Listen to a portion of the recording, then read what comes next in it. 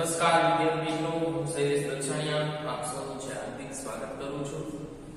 હવે આપણે report રાઇટિંગમાં lecture number 5 પૂછ્યા છે. આના પહેલા આપણે ચાર લેક્ચર છે એ જોયેલા છે.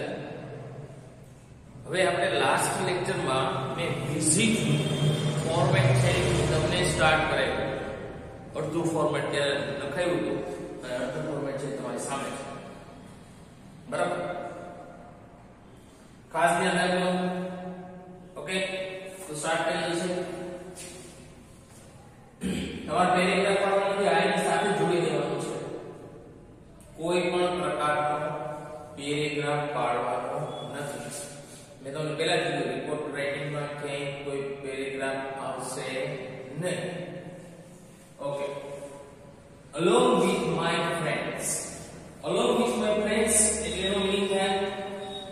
કે હું મારા મિત્રોની સાથે અલોંગ એટલે શું થાય સાથે along with my friends, હું મારા મિત્રોની સાથે, I met an officer officer, એટલે અધિકારી, of the, અહીંયા તમારા સ્થળનું નામ આવશે. કે હું એ સ્થળના, જે સ્થળ હોય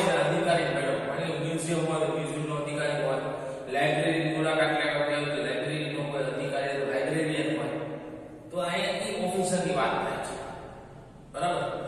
પ્રાણી સંગ્રહાલયમાં ગયા હોય તો પ્રાણી સંગ્રહાલયનો કોઈ અધિકારી હોય, એને મળ્યા હોય આપણે. તો એ અધિકારીની અહીંયા વાત થાય એન્ડ વોટ ગાઈડન્સ ગાઈડન્સ એટલે સલાહ અથવા તો બીજા સૂચનો બરાબર? તો માહિતી મેળવે છે. એટલે શું થાય?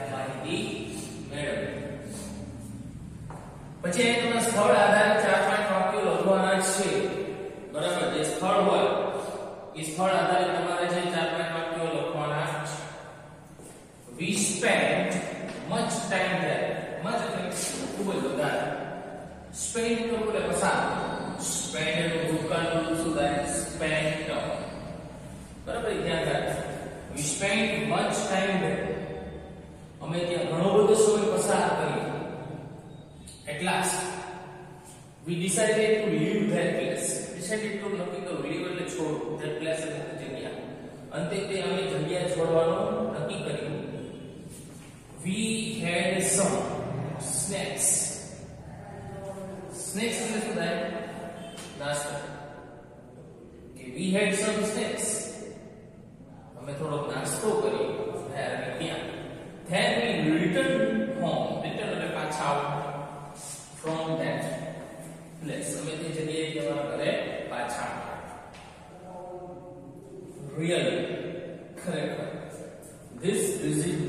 memorable memorable એટલે આપણે જો આના પહેલા રિપોર્ટમાં છે યા શબ્દ આવતો તો memorable ફોર અસ તમારા ખરેખર તે મુલાકાત અમારા મારા માટે યાદગાર it was very informative informative એટલે માહિતી કરાવે તેવી આ શબ્દો પર ખાસ તો ઇન્ફોર્મેટિવ ઇન્ફોર્મેટિવ નો meaning શું થાય જે માહિતી આપી શકતું હોય ને એને ઇન્ફોર્મેટિવ કહેવાય તો આપણે કોઈ પણ સ્થળની મુલાકાત લઈએ તો એ સ્થળથી આપણે ઘણી બધી માહિતી પણ મળતી હોય છે.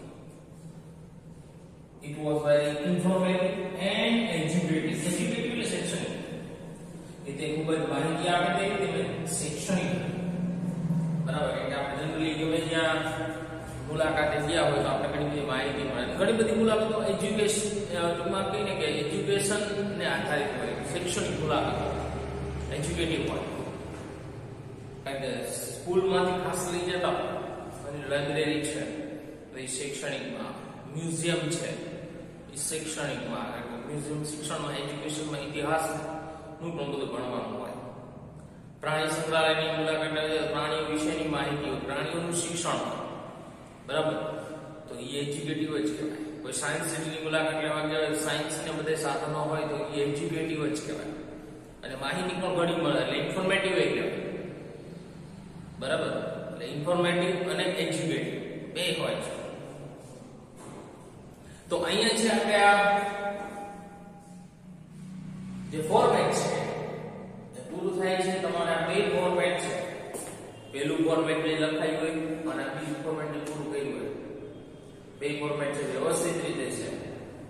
પેલા ચોપડામાં લખી નાખવાના અને પછી એને પાકા કરવાના છે બરાબર એટલે એટલું ખાસ ધ્યાન રાખજો ઓકે તો અહીં સુધી રાખીએ છીએ. અસ્તુ.